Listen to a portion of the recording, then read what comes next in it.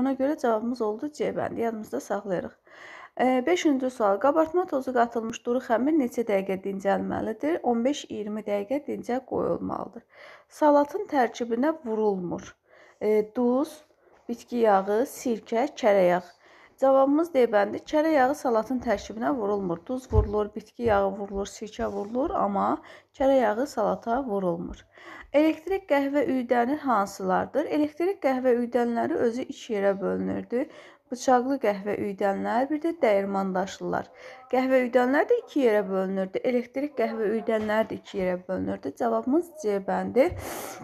Heyvan və bitki orqanizmində toxumalara rəng verən maddədir. Bu nə idi?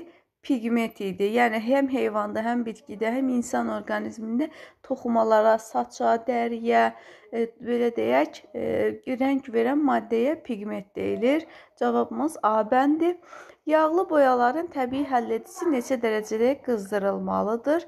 E, bu təbii həllədicilər hansıları idi? Əlif idi, çətənə idi, bir də katan